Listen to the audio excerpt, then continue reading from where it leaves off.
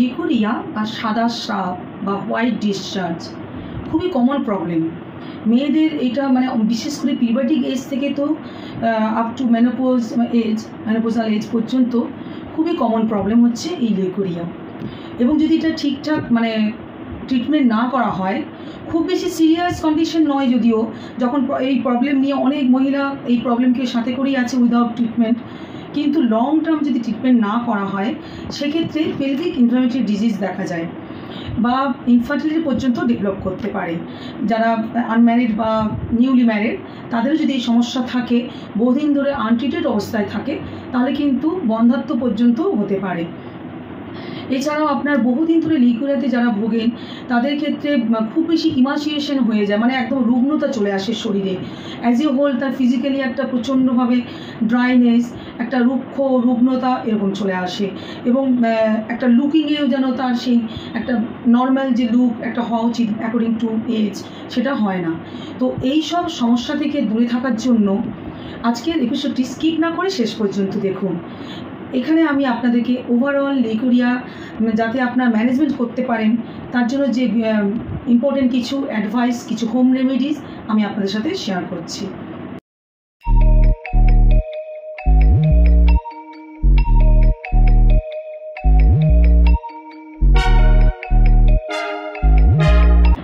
নমস্কার, আশা করি সবাই সুস্থ আছেন, ভালো আছেন।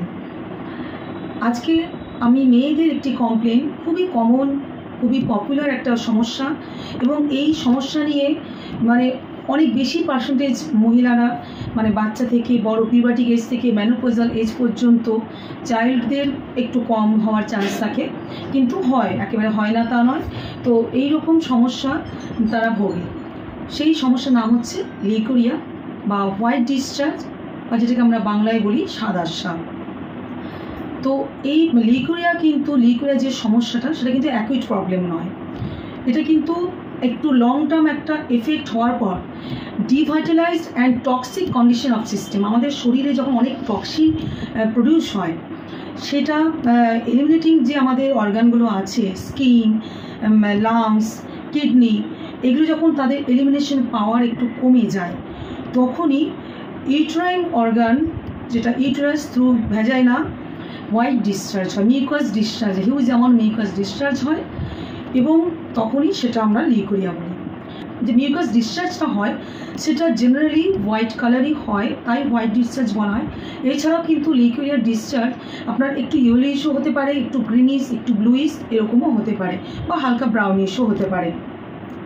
Basically after puberty towards menopause বা আফটার ম্যানোপোজাল এজে লিকুরিয়াল ডিসচার্জ বা হোয়াইট ডিসচার্জের সমস্যায় বেশি ভোগে মেয়েরা।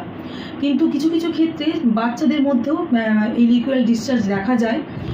সেটা বিশেষ করে হয়তো পার্সোনাল হাইজিনটা ঠিকমতো মেনটেন হয় না। তখন তো বাচ্চারা নিজেরা সেভাবে জানবে না তাদের মাকে তাকে হেল্প করতে হবে যে পার্সোনাল হাইজিন কীভাবে মেনটেন করা উচিত সেটা তাকে গাইড করতে হবে। সেটা ঠিকমতো না মেনটেন হলে সেক্ষেত্রে হতে পারে লিকুইড ডিসচার্জ তা অনেক ক্ষেত্রে বাচ্চাদের থ্রেড ওয়ার্ম ইনফেকশন হলে তখনও কিন্তু খুব লিকুইড ডিসচার্জ দেখা যায়। তো সেটাও রেকটিফাই করে সেটা ট্রিটমেন্টের প্রয়োজন। তো এই লিকুরিয়া হয় কি কারণে? সবচেয়ে প্রথম একটা ব্যাপার থাকে কি, যে কোনো রকম আনহাইজিনিক কন্ডিশনের জন্যও হতে পারে। বিভিন্ন রকম ফাঙ্গাল ইনফেকশন হয়ে যেতে পারে পার্সোনাল হাইজিন যারা খুব ভালো রকম মেনটেন করে না, তাদের ক্যান্ডিডা অ্যালবিকান্স নামক একটা মানে ফাঙ্গাল ইনফেকশন হয়, যার জন্য তখন হোয়াইট ডিসচার্জ হতে পারে সারাউন্ডিং এরিয়া ফুলে যায়, বা কোনো রকম ব্যাকটেরিয়াল ইনফেকশনের জন্যও হতে পারে। বিভিন্ন রকম গোনোরিয়াল বা সিফিলিস এরকম ধরনের কোনো ব্যাকটেরিয়াল ইনফেকশন হলে তখনও কিন্তু হোয়াইট ডিসচার্জ বেশি করে দেখা যায়। এছাড়াও কখনো যদি মানে ইউট্রাসের প্লেস অরিজিনাল যে পজিশন মানে ডিসলোকেশন অফ ওম যেটা বলা হয় মানে তার ইউট্রাসের কন্ডিশন তার জেনিটাল অর্গানের পজিশনটা হয়তো একদম নর্মাল প্রপার পজিশনে নেই। যাদের ব্যাড ফুড হ্যাবিট থাকে প্রচুর পরিমাণে জাঙ্ক ফুড ফাস্ট ফুড খাওয়ার টেন্ডেন্সি এখনকার দিনের ছেলে মেয়েদের সবারই থাকে। তো মেয়েদের ক্ষেত্রে জাঙ্ক ফুড বা ফাস্ট ফুড বেশি খেলে তাদের ক্ষেত্রেও কিন্তু এরকম ধরনের ইরেগুলার মেন্স তার সাথে লিকুরিয়াল ডিসচার্জ এসব হয়ে থাকে। বা অনেকের ক্ষেত্রে হয় কি জেনেটিক্যালি হয়তো তার মা, দিদা এদের মানে ছিল, তখন জেনেটিক্যাল একটা এফেক্টও হালকা হলেও কাজ করে। তখন সেক্ষেত্রে সময় থাকতে একটু খেয়াল রাখতে হবে, তাকে নর্মাল একটু লাইফস্টাইল একটু হেলদি লাইফস্টাইল মেনটেন করতে হবে। যারা এক্সেসিভ সেক্সুয়াল রিলেশন করেন ইনভলভ থাকেন, তাদের ক্ষেত্রেও লিকুয়াল ডিসচার্জ দেখা যায় বা হয়তো যে কারণেই হোক, কোন নিজের অসুবিধা সুবিধা যে কোনো কারণেই হোক, যদি অ্যাবর্শন করা হয় মানে একাধিকবার অ্যাবর্শন করছে, তাদের ক্ষেত্রেও কিন্তু লিকুয়াল ডিসচার্জ প্রচণ্ডভাবে বেশি হয়। এবং বিশেষ কিছু সিমটম আপনি দেখলে বুঝতে পারবেন যে এটা সমস্যা পর্যায়ে। এমনিতে ইউটারাস থেকে থ্রু ভ্যাজাইনা বা একটা মিউকোসাল ডিসচার্জ মেয়েদের এটা common during intercourse before menstruation বা after menstruation ovulation time that means twelve to fourteen days after first menstrual date তো এই যে টাইমিংগুলো এই সব টাইমে নর্মালি কিন্তু একটা মিউকোসাল ডিসচার্জ হয়ে থাকে। কিন্তু তখন মানে যখন, কখন আপনি সেটাকে বলবেন প্রবলেমের মধ্যে পড়েছে, একটা ডিসঅর্ডার হয়েছে। অনেক সময় দেখবেন এরকম ডিসচার্জের সাথে আপনার মাথা ব্যথা থাকছে, শরীরে এক্সেস উইকনেস থাকছে এবং ওয়েট যেন খাওয়া দাওয়া ঠিকঠাক হচ্ছে তবুও যেন ওয়েটটা কম হয়ে যাচ্ছে, একটা রুগ্নতা দেখা দিচ্ছে শরীরে। কোমরে ব্যথা মানে লাম্বার রিজিনে কোমরে ব্যথা দেখা দেয়। কাপ মাসেল অফ লেগ পায়ের, যে ব্যাক অফ লেগ ওই কাপ মাসেলের ওই এরিয়াতে ব্যথা বোধ হয়। মানে মুভমেন্ট ওয়াকিং সব কিছুতেই একটা ডিস্টারবেন্স ফিল হয়। তো এরকম ধরনের উইকনেস এরকম ধরনের সিমটম থাকবে, তার সঙ্গে যদি হোয়াইট ডিসচার্জ থাকে, তাহলে কিন্তু আপনার এটা ট্রিটমেন্টের অবশ্যই প্রয়োজন। এবং এটা আপনার, এবং দেখবেন যে, আমি যে টাইমগুলো বললাম, সেই টাইমগুলো ছাড়াও থ্রু আউট মান্থ হয়তো তার menstrual sorry throughout month তার হোয়াইট ডিসচার্জ হচ্ছে। সেক্ষেত্রেও তখন ওটাকে সমস্যা হিসেবে ধরতে হবে। বা দেখা গেল বিফোর পিরিয়ড বা থ্রু আউট মান্থ হচ্ছে না, কিন্তু বিফোর পিরিয়ড বা আফটার পিরিয়ড এক্সেস ডিসচার্জ হচ্ছে। কখনো দেখা যায় যে বিফোর বা after menstrual period excess discharge হয়। ইভেন ন্যাপকিন হয়তো নেওয়ার প্রয়োজন পড়ল বা প্যান্টি ভিজে গেল, এরকম পরিস্থিতিও হতে পারে। তো সেক্ষেত্রেও হয়তো থ্রু আউট মান না হলেও কিন্তু যখন হচ্ছে খুব বেশি হচ্ছে। এবং তার সাথে কিছু এই ব্যথা, মাথা ব্যথা, এইসব কোমর ব্যথা, মাথা ব্যথা, দুর্বলতা এইসব থাকবে বা ইরিটেশন অফ ভেজায়না মানে ভেজায়নাতে একটা ইরিটেশন কাজ করবে, চুলকুনি হবে, এরকম ধরনের যদি লক্ষণ থাকে তাহলে কিন্তু আপনাকে ট্রিটমেন্ট করতে হবে। আপনার এটা ডিসঅর্ডারের পর্যায়ে চলে গেছে। আপনার এই নর্মাল মিউকাস ডিসচার্জ কিন্তু আর নেই। ডাক্তারের কাছে গেলে কিছু নর্মাল এক্সামিনেশনের মাধ্যমে ডাক্তার আপনাকে এক্সামিনেশন করবেন। প্রথমে আপনার হিস্ট্রি একটা নেবেন উনি, যে আপনার কি হিস্ট্রি আছে বা ফ্যামিলি হিস্ট্রি কিছু আছে কি না বা আপনার প্রিভিয়াস কিছু সমস্যা হয়েছিল কি না কখন থেকে আপনার হচ্ছে, সেই সব ব্যাপারগুলো দেখে উনি একটা হিস্ট্রি নেবেন। তারপরে প্রয়োজনে উনি ভ্যাজেনাল এক্সামিনেশনও করতে পারেন। সেই ক্ষেত্রে আপনার মানে কোনো রকম ভ্যাজেনাল এরিয়াতে ইনফরমেশন হয়েছে কি না সোয়েলিং হয়েছে কি না ফুলে গেছে কি না বা কোনোরকম রনেস রেডনেস একটা হয়ে গেছে কি না ইনফেকশন সেভাবে হয়েছে কি না সেগুলো দেখার জন্য ভ্যাজেনাল এক্সামিনেশনের প্রয়োজন হয়। কখনো কখনো প্রয়োজনে রেকটাল এক্সামিনেশনও করতে হয়। আর এছাড়াও আপনার আলট্রা লোয়ার অ্যাবডোমেন আলট্রাসোনোগ্রাফি করেও অনেক সময় দেখা যায় যে আপনার হয়তো লিকুয়ার পেছনে আপনার দেখা গেলো ইউটারাসের পজিশন তো ইউটারাসের পজিশনটা ঠিক আছে কিনা, এটা কিন্তু বুঝবার জন্য একটু অনেক সময় আলট্রাসোনোগ্রাফির প্রয়োজন হয়। ভ্যাজেনাল থ্রু ভ্যাজেনাল এক্সামিনেশন করে কিছুটা বোঝা যায়, বা অনেক ক্ষেত্রে তখনও বোঝা যায় না, কিন্তু লোয়ার অ্যাবডোমেন সোনোগ্রাফি করে বোঝা যায়। ঠিক সময় ট্রিটমেন্ট না করলে কিন্তু লিকুইরিয়ার পেশেন্টদের অনেক দিন ধরে হয়তো লিকুইরিয়ার সমস্যায় ভুগছেন। কারণ আমি আগেই বলেছি লেকুরিয়া কিন্তু সাডেনলি অ্যাকিউট সমস্যা নয়। এটা একটা ক্রনিক কন্ডিশন হয়, একটা devitalised toxic condition of system হয়। তো সেই জন্যে একটা লং টার্ম যদি ভোগার পরে এবং তারপরে যদি ট্রিটমেন্ট না করা হয়, তাহলে কিন্তু কমপ্লিকেশন হিসেবে পেলভিক ইনফ্লামেটরি ডিজিজ দেখা যায়। যে এবং তাছাড়াও এমনকি ইনফার্টিলিটি এমন বন্ধাত্ম পর্যন্ত ঘটতে পারে।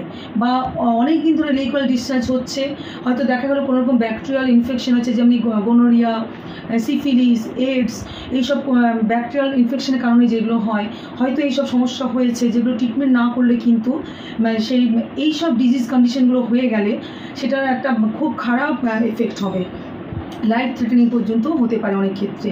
তো সেই জন্য সময় থাকতে ট্রিটমেন্ট করা খুব প্রয়োজন। আর লিকুরিয়া সমস্যা হলে কি ডায়েট মেনটেন করা উচিত? সবচেয়ে প্রথম বলব যে কোনগুলো অ্যাভয়েড করবেন। সবচেয়ে প্রথম নাম্বার ওয়ানে থাকবে জাঙ্ক ফুড ফাস্ট ফুডকে অ্যাভয়েড করুন। রিফাইন্ড কার্বোহাইড্রেটকে অ্যাভয়েড করুন। বিভিন্ন ধরনের জাস্ট মানে নিউট্রিশনলেস কার্বোনেটেড যে বেভারেজেসগুলো হয়, যেগুলো হাই ক্যালোরি কিন্তু কোনো রকম নিউট্রিশিয়াস নয় সেই সব বেভারেজেস কোল্ড ড্রিঙ্কস এই সব জিনিসগুলোকে অ্যাভয়েড করুন। অনেকের থাকে স্মোকিংয়ের হ্যাবিট বা অ্যালকোহলের হ্যাবিট তাদেরকেও কিন্তু সেগুলোকে টোটালি স্টপ করতে হবে। টাইট আন্ডারগার্মেন্ট পরার অভ্যেস থাকে, সেক্ষেত্রে টাইট আন্ডারগার্মেন্ট পরবেন না।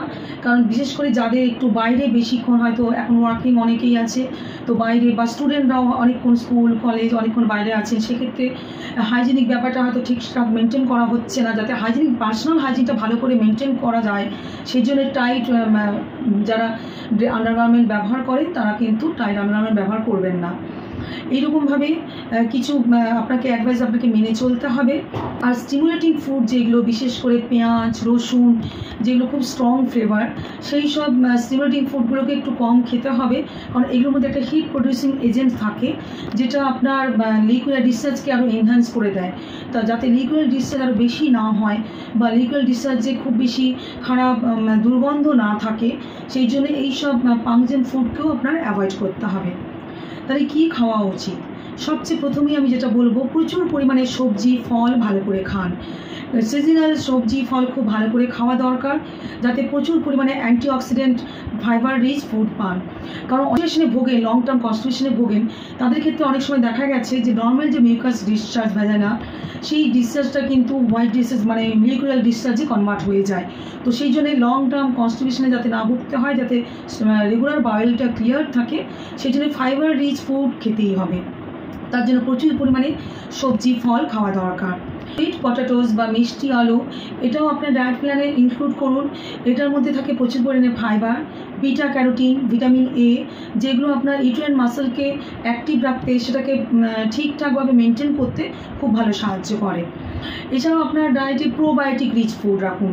যেমন দই, ঘরে পাতা দই আপনার ডায়েট প্ল্যানে রাখুন, বা ফার্মেন্টেড রাইস এরকম রাখতে পারেন। তো এগুলো থাকলে কি হয় এগুলো আপনার গাট হেলথের জন্য খুব উপকারী। ফলে আপনার কনস্টিপেশন এইসব সমস্যাও হবে না। এছাড়াও ইউট্রেসে যে নর্মালি যে ব্যাকটেরিয়া থাকে মানে হেলদি ব্যাকটেরিয়া গুড ব্যাকটেরিয়া থাকে, সেটাকে ব্যালেন্সটা বজায় রাখতে সাহায্য করে প্রোবায়োটিক ফুড যদি আপনার প্রোবায়োটিক ফুড কম পড়ে যায়, তাহলে কিন্তু সেক্ষেত্রে আপনার এক্সট্রা ইনফেকশন হওয়ার চান্সটা প্রচণ্ড থাকে। যাতে ইমিউনিটি বুস্টিং ব্যাপারটা থাকে, আপনার সহজে বাইরে থেকে এই যে আনহাইজেনিকের কারণে ফাঙ্গাল ইনফেকশন ব্যাকটেরিয়াল ইনফেকশন না হয়ে যায় সেগুলোর সঙ্গে ফাইট করার মতো যাতে ক্ষমতা থাকে, সেই জন্য প্রোবায়োটিক ফুড রিচ খাবারও আপনাকে খেতে হবে। Omega three fatty acid rich ফুডও খাবার আপনার ডায়েট প্ল্যানে রাখতে হবে। তার মধ্যে আপনার অয়েলি ফিশ রাখতে হবে। অন্তত সপ্তাহে দুই থেকে তিন দিন এই অয়েলি ফিশ আপনি রাখুন। রেগুলার মাছটাকে আপনার ডায়েট প্ল্যানে রাখুন। এবং এই ওমেগা থ্রি ফ্যাটি অ্যাসিড আপনার ডায়েট প্ল্যানে থাকলে ওভারঅল বডিতে including vagina uterus uterine organ এইসবে ব্লাড সার্কুলেশন খুব ভালো হবে। ফলে আপনার ইউটেরাসের যে কন্ট্রাকশন যে হয় সেটা তো আপনার খুব ভালো কাজ করবে। তাই আপনার নর্মাল জেনিটাল লাইফ আপনার ক্যারি করতে খুব সুবিধা হবে। এছাড়াও আপনার ওভারঅল আপনার সেক্সুয়াল ইন্টারকোর্সের জন্য খুব উপকারী হবে। তাই omega three fatty acid rich ফুডও খাবার আপনার প্ল্যানে রাখা খুব প্রয়োজন। যারা ননভেজ খেতে পাচ্ছেন না, এই যে অয়েলি ফিশ মাছ, এগুলো খেতে পাচ্ছেন না, তাদের জন্য বলব সয়াবিন সয়া ফুড আপনার ডায়েট প্ল্যানে খুব রাখুন। তবে প্রসেসড জিনিস রাখবেন না, যেগুলো এখন রেডিমেড অনেক কিছু আছে, যেটা জাস্ট ফ্রাই করলেন বা কুক করলেন, হয়ে গেল। সেরকম ধরনের নয়। আপনি সয়াবিন ডাইরেক্ট সয়াবিন দানা খান, সেটাকে সবজি বানিয়ে সেদ্ধ করে কারি করে খান, বা সয়া গ্র্যানুলস বা সয়াবিনের যে বড়িগুলো পাওয়া যায় সেগুলোও খেলে উপকার হবে। এরকমভাবে আপনার ডায়েট প্ল্যানে সয়া রিচ ফুড আপনার খাবারে রাখুন। ক্যানবেরি আপনার ডায়েট প্ল্যানে রাখলেও কিন্তু আপনি এই লিকুইয়া থেকে রিকভারি পেতে খুব উপকার হবে। ক্যানবেরি জেনারেলি আমেরিকান ফুড ইন্ডিয়াতেও মানে এটা ড্রাই ফর্মেও পাওয়া যায় বা ইন্ডিয়ান এটার ইন্ডিয়ান নেম হচ্ছে করন্ধা। তো এটাকে ড্রাই ফর্মেও পাওয়া যায়। এখন তো শপিং মল বা অনলাইনে দৌলতে আমরা সব কিছুই পাই হাতের কাছে। আপনি ড্রাই ফর্মে পেলেও সেটাকে জলে শোক করে সেটাকে আপনি ইনটেক করুন, গ্রহণ করুন। আর ফ্রেশ ক্যান্ডি যদি পান, সেটাকেও আপনি ফ্রুটস হিসেবে আপনি সেটাকে খেতে পারেন। অ্যাভোকাডো কিন্তু লিকুইডের জন্য খুবই উপকারী। অ্যাভোকাডোতে থাকে healthy fat vitamin B six vitamin K যার জন্য আপনার লিবিডো দ্যাট মিন্স আপনার সেক্সুয়াল পাওয়ারকে ডেভেলপ করতে খুব ভালো সাহায্য করবে। Normal lubrication of your vagina সেটাকে মেনটেন করতে খুব ভালো সাহায্য করবে। এক্সেস ডিসচার্জটাকে কন্ট্রোল করবে। তার জন্য অ্যাভোকাডো যদি পারেন যদি সম্ভব হয় অ্যাভোকাডো কিন্তু আপনার ডায়েট প্ল্যানে ইনক্লুড করতে পারেন। বিভিন্ন ধরনের ফল, বিশেষ করে বেরিজ স্ট্রবেরিজ রাসবেরিজ গুজবেরিজ আমলকি, আপেল, এইরকম ধরনের বেদানা, বিভিন্ন ধরনের ফল যদি আপনার ডায়েট প্ল্যানে রাখেন, তাহলে আপনার এই লিকুইড থেকে রিকভারি হতে ট্রিটমেন্টের সাথে রিকভারি হতে খুব ভালো সাহায্য করবে। কারণ ফলে থাকে প্রচুর পরিমাণে অ্যান্টিঅক্সিডেন্ট তাছাড়া থাকে ফাইবার এবং ন্যাচারাল সুইটস তো রিফাইন্ড সুইটস রিফাইন কার্বোহাইড্রেটকে অ্যাভয়েড করে আপনি যদি এইভাবে আপনার ডায়েট প্ল্যানে আপনি এরকম ফলগুলো রাখেন, সেগুলো আপনার লিকুইড ইমপ্রুভ করতে খুব ভালো সাহায্য করবে। ডার্ক লিফি গ্রিন, আপনার ডার্ক প্ল্যানে রাখুন। কোলার গ্রিন, চেওর চেওর স্কোয়াশ, এগুলো যদি আপনার ডার্ক প্ল্যানে রাখেন, যেগুলো একটু ডার্ক গ্রিন হয়, এগুলো আপনার রিচ অফ বিটা ক্যারোটিন থাকে, যার জন্য আপনার ইউটেরাসকে ইউটেরান অর্গানকে অ্যাক্টিভ রাখতে, তার মাসলকে অ্যাক্টিভ রাখতে খুব ভালো। তাহলে কোলার গ্রিন, পালং শাক, এইসব ধরনের ডার্ক গ্রিন, ভেজিটেবল যদি আপনার ডায়েট প্ল্যানে রাখেন তাহলে আপনার ওভারঅল আপনার ইউটারাসকে স্ট্রং রাখতে ইউটারান মাসেলকে স্ট্রং রাখতে খুব ভালো সাহায্য করবে। ওভারঅল আপনার এই জেনিটাল অর্গান ইউটারান অর্গানকে ভালো রাখতে হেলদি রাখতে খুব ভালো সাহায্য করবে। এইভাবে অ্যাবনর্মাল ডিসচার্জ থেকে প্রোটেক্ট করতে খুব ভালো সাহায্য করবে। এই রকম ধরনের ডায়েট প্ল্যান আপনাকে মেনটেন করতে হবে। আর ট্রিটমেন্ট আমি বলব হোমিওপ্যাথিক্যালিও খুব ভালো ট্রিটমেন্ট হয়। খুব বেশি সময়ও লাগে না। আপনার ডিজিজ কন্ডিশনের উপর ডিপেন্ড করবে ঠিক কতদিন সময় লাগবে, সেটা ইন্ডিভিজুয়াল ভ্যারি করবে। তবে একটা কথা বলব লিকুইডার কিন্তু হোমিওপ্যাথিক্যালি খুবই ভালো ট্রিটমেন্ট হয় এবং সুন্দরভাবে একেবারে রিকভারি করা যায়। তবে অবশ্যই তার সাথে আপনার যে, আমি এতক্ষণ যে অ্যাডভাইসটা দিলাম, যে আপনার লাইফস্টাইল যে হেলদি ডায়েট প্ল্যান এবং এগুলোকে মেনটেন করতে হবে। রেগুলার একটা ফিজিক্যাল এক্সারসাইজের মধ্যে অবশ্যই থাকা দরকার। যারা খুব বেশি অফিস ওয়ার্ক এইসব নিয়ে থাকেন সেভাবে আপনারা মানে এক্সারসাইজ হচ্ছে না, কোনো কিছু হচ্ছে না, তাদের ক্ষেত্রেও কিন্তু লিকুইডাল ডিসচার্জের টেন্ডেন্সি খুব বেড়ে যায়। তাই আপনাকে রেগুলার একটা ফিজিক্যাল এক্সারসাইজের মধ্যেও থাকতে হবে। অন্ততপক্ষে থার্টি থেকে ফর্টি ফাইভ মিনিটস এক্সারসাইজ করবেন হেলদি লাইফস্টাইল মেনটেন করবেন ডায়েট মেনটেন করবেন এবং তার সাথে যদি আপনি হোমিওপ্যাথিক ট্রিটমেন্ট করেন, তাহলে দেখবেন খুব তাড়াতাড়ি আপনি লিকুইড থেকে রিলিফ পাবেন।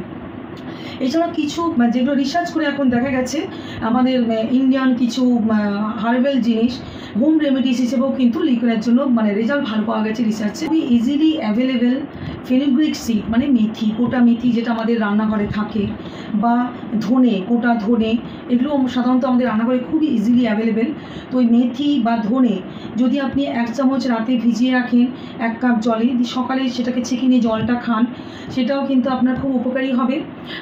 বা হয় রাতে ভেজানো আপনার সম- হয়তো খেয়াল থাকল না, আপনি ভুলে গেলেন, সেক্ষেত্রে আপনাকে করতে হবে যে এক গ্লাস জলে আপনি এক চামচ মেথি দিলেন। এক গ্লাস মিন্স এখানে মোটামুটি তিনশো চারশো একটু বড় গ্লাস, এক গ্লাস জলে আপনি দিলেন এবং সেটাকে ফুটিয়ে ফুটিয়ে প্রায় হাফ করে দিলেন। তারপর সেটাকে যদি খান মানে একটা হার্বাল টিয়ের মতো করে আপনি যদি সেইটাকে টি এর মতো করে খান, হালকা ইসুদুষ্ণ গরম, সেটাও কিন্তু যদি রেগুলার খান বা সপ্তাহে দুই থেকে তিন দিন খান, সেক্ষেত্রে আপনার খুব ভালো রেজাল্ট পাওয়া যায়। ভেন্ডি এখন গরমকালে প্রচণ্ডভাবে অ্যাভেলেবেল ভেন্ডিরও কিন্তু মারাত্মক উপকার আছে এই লেকুরিয়া প্রবলেমের জন্য।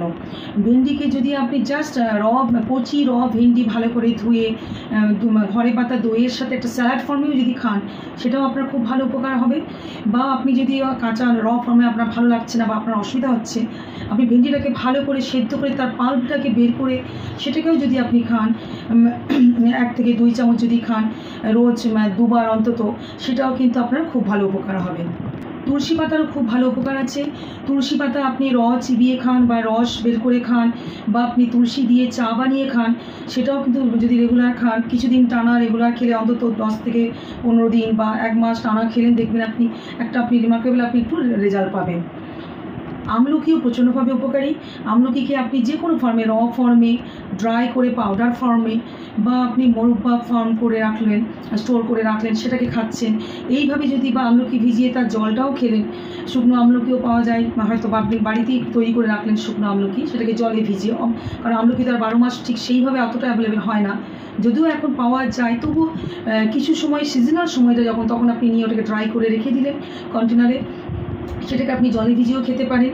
এইভাবে আমলকি যদি যে কোনোভাবে যদি আপনি আপনি আমলকিটাও এক দু মাস আপনি টানা খেলেন সেক্ষেত্রে ভালো রেজাল্ট পাবেন। রাইস ওয়াটারও খুব ভালো। ফার্মেন্টেড রাইস ওয়াটার যদি আপনি খান, সে বা ভাতের ফ্যান যদি খান, সেটাও কিন্তু দুটোই আপনার কিন্তু এই লিকুইডের জন্য খুবই ভালো উপকারী। এরকমভাবে আমি আপনাদের অ্যাজ এ হোল লিকুইয়া সম্পর্কে, লিকুইয়া না ট্রিটমেন্ট করলে কি সমস্যা হতে পারে? এবং সময় থাকতে ট্রিটমেন্ট করলে এটা টোটালি কিউরেবল এবং কিছু আমি আপনাদেরকে ডায়েট অ্যাডভাইস তার সঙ্গে হোম রেমেডিস সব রকম বললাম। আশা করি আজকে ভিডিওতে আপনারা উপকৃত হয়েছে। আপনার যদি ভিডিওটি ভালো লাগে, তাহলে প্লিজ সবাইকে শেয়ার করে জানার সুযোগ করে দিন। যদি আজকে প্রথমবার দেখছেন আমার চ্যানেল তাহলে প্লিজ সাবস্ক্রাইব করে বেল আইকনটি অবশ্যই প্রেস করবেন। কারণ আমার চ্যানেল থাকে বিভিন্ন রোগ, বিভিন্ন খাদ্য উপাদান, বিভিন্ন হোমিওপ্যাথিক মেডিসিন এবং বিভিন্ন হেলদি রেসিপিস ভিডিওস সবাই সুস্থ থাকুন, ভালো থাকুন। নমস্কার।